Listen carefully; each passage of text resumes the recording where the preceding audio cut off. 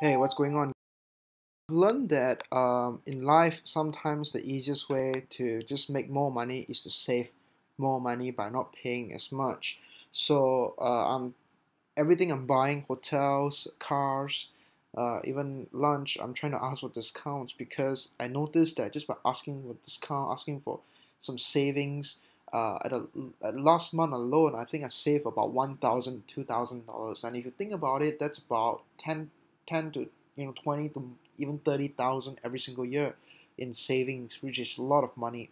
To show you guys this conversation, uh, I'm asking them. Uh, you can see, hey, my, hi Naomi, I've been testing GoToWebinar and I think I like it, but the price is a little too steep for me, as I'll need at least that 1,000 package. It's two two hundred ninety nine dollars. It's really nothing, but uh, I'm trying to see. Uh, great. What is the email address for your trial is it possible to get me a discount?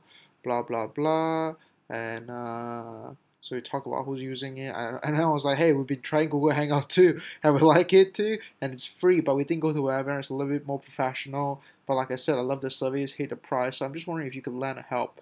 So they give me a cheaper uh, version right? So you know little things like this save some money. And it really matters because it saves about 50 bucks. That's like uh, $600 every single year. That's enough to get a really, really good meal. Think about that. Or maybe two good meals or six good meals, you know?